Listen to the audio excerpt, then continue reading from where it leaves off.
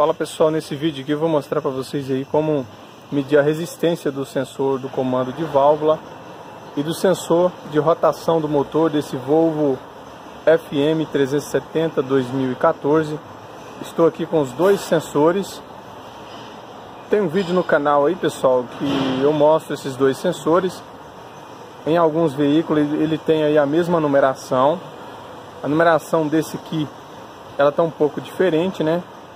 Desse sensor aqui, ele é o 21 42 69 87. Ele é fabricação aí espanhola, ó, Span.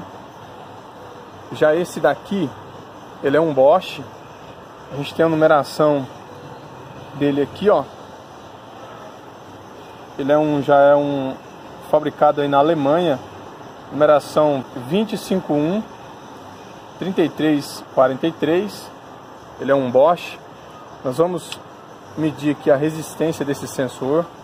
Ele está aí entre 900. Quando a gente tira aqui, ó,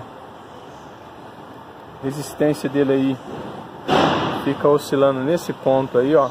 Vou deixar ele parado aqui para a gente medir aí ó, a resistência, ó. 900. Tá na escala aqui de 2000 ohms, ó.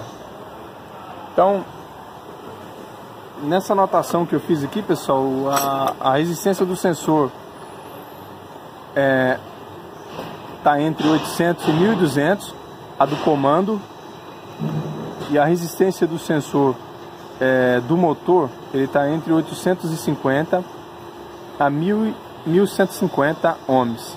Esse sensor aqui é o de rotação do motor. Agora nós vamos mostrar para vocês aqui a resistência do sensor do comando de válvulas. Ela está aí entre 821.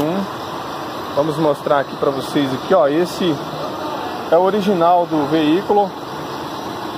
Pode ver aí, ó. 21426987. Esse é o sensor original, né, do veículo. A resistência dele aí.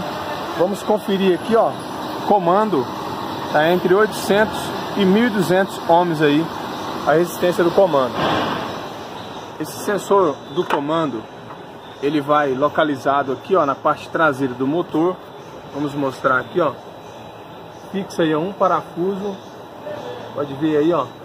Ele vai é, apontado para a engrenagem do comando de válvulas e do motor ali ó. Ele vai apontado para o volante do motor.